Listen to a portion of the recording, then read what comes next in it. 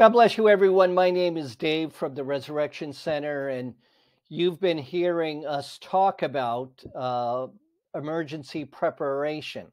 Um, certainly, we've been through a disaster already, just the pandemic itself.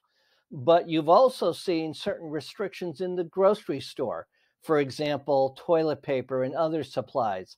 That's already happening. You're also noticing that the prices of certain goods have gone up as well. Well, what we do at the Resurrection Center is we don't want to scare you, we want to prepare you in the event of any type of disaster. And so um, it is not only the Resurrection Center, it is also the state of Massachusetts as well as uh, the city of Springfield, Massachusetts.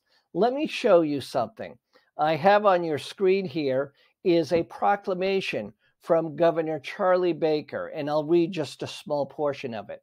Whereas all residents of the Commonwealth are encouraged to participate in preparedness activities and use the preparedness resources at www.mass.gov forward slash ready. And then he continues to say, Now therefore, I, Charles D. Baker, Governor of the Commonwealth of Massachusetts, do hereby proclaim September 2021 to be Emergency Preparedness Month. So that's from the state level. Let's go to the city level. And this is a proclamation from uh, Dominic Sarno, the mayor of Springfield. And uh, I'll just read a portion of it here. And it says, whereas being prepared is the responsibility of every citizen in Springfield. Today, Friday, September 3rd, 2021, is the City of Springfield and the Department of Health and Human Services want to promote awareness for national preparedness.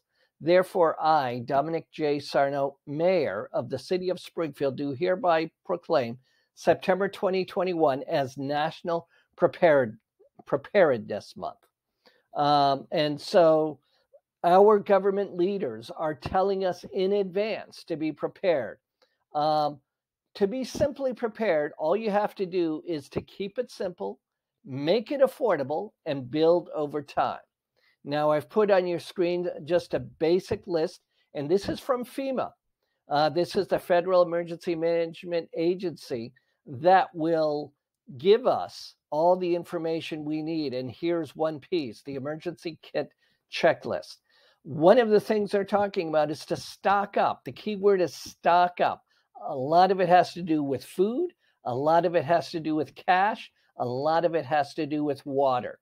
Um, three days of non perishable, non cooked food, uh, water, which is one gallon per day per person in the household, medication that you may need, uh, flashlights, of course, all the batteries you need, uh, certainly a an, a battery operated radio for communication on emergency news, all kinds of extra batteries.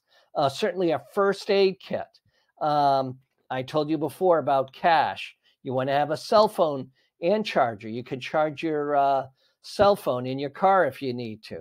Make sure you have a copy of ID cards and information, uh, your doctor contact, uh, all the meds, allergy information um, all the contact with your family and friends, uh, you know, even the basic uh, sanitary necessities like toothbrush, toothpaste, blanket, washcloth. Uh, don't forget your pets. Don't forget about the children, clothes and baby or pet supplies if you need them. Um, so be prepared with all of these things. Um, you can learn more at mass.gov forward slash ready or you can also look at mass.gov forward slash MEMA forward slash ready. Be prepared and be organized. The big message is, is to stock up water, medicine, food, um, data such as your doctor information, allergy information. Uh, have cash on hand in case ATMs and debit cards and credit cards no longer work. Uh, be prepared for that. So just have a, a, lot of cash on hand uh, so that you're prepared in the event of a disaster. Uh, take time to look at this video again so you see the list um, and be prepared in the event of a disaster. My name is David. Thank you for watching.